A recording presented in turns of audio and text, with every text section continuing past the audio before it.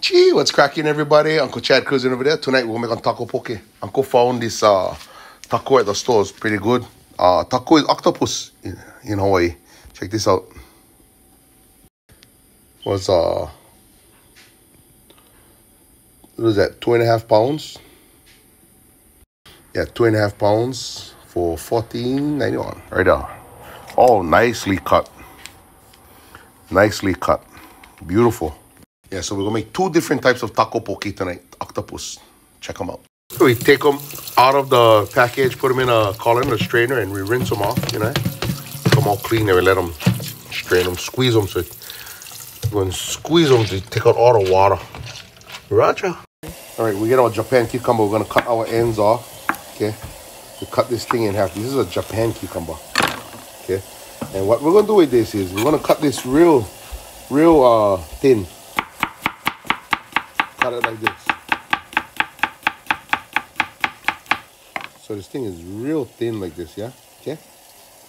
Put them in a colander. We're gonna add some salt.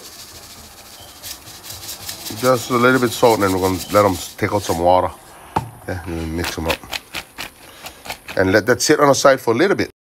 Okay, and then while we're waiting for the cucumber, uh, drain out some water, we get our sweet onion, cut them in half this way. Then we're gonna cut, we cut them all small. So it's all straight up like that.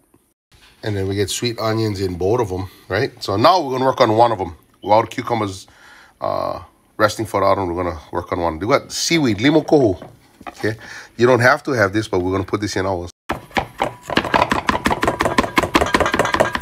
Kukui nut, the candle nut. Garlic chili sambal. Yeah, about a tablespoon. A little bit pa'akai, the Hawaiian salt. A little bit sesame oil. A couple tablespoons. Raja. Then we mix them up.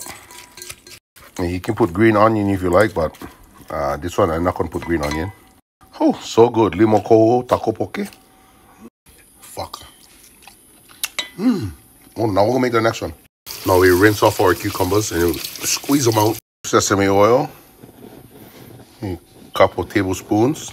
Kimchi momoya base. Like three tablespoons or more. A little bit sriracha if you like the heat. Raja.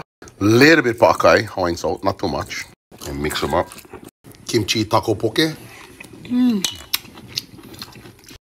Kohu tako poke, kimchi tako poke. Uncle Chad style, that's what's up. Fuck, I mean, alright.